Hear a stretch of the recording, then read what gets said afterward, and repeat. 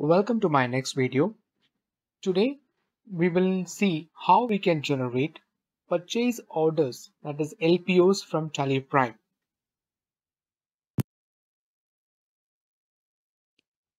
The first step is to ensure that we have enabled the voucher type purchase order.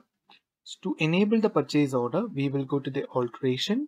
We will go to voucher types and you can select purchase order and you ensure please ensure that activate this voucher type as yes and accept the script once this is checked you can go to vouchers. You can click on other vouchers and you can search purchase orders from the list of voucher types.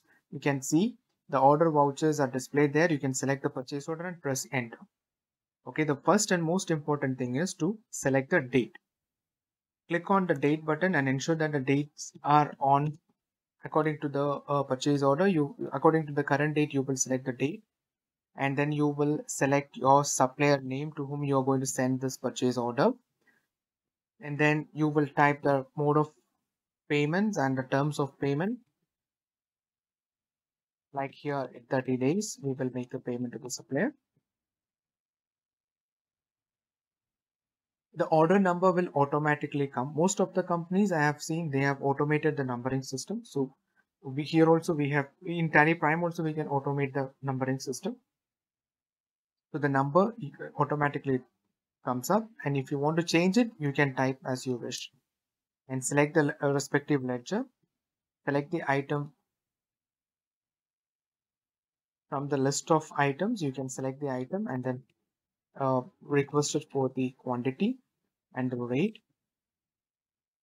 If you have second item, you can select the second item. Provide the rate of that particular item.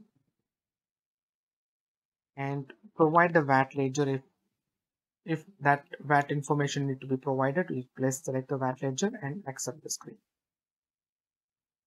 Okay, so this means that you have generated a purchase order and the same can be printed and provided to the customer. You can email to the customer. And uh, uh, you can also see the pending purchase orders from the display mode reports statement of inventory. You can see the purchase order outstanding. All orders you can see this particular order is pending from this particular supplier. Once the purchase order is generated you can click on the print button. You can take a printout of it and you can also export it as a PDF format and then you can send it to your supplier. This is a normal print preview of the purchase order. You can customize it if you wish to.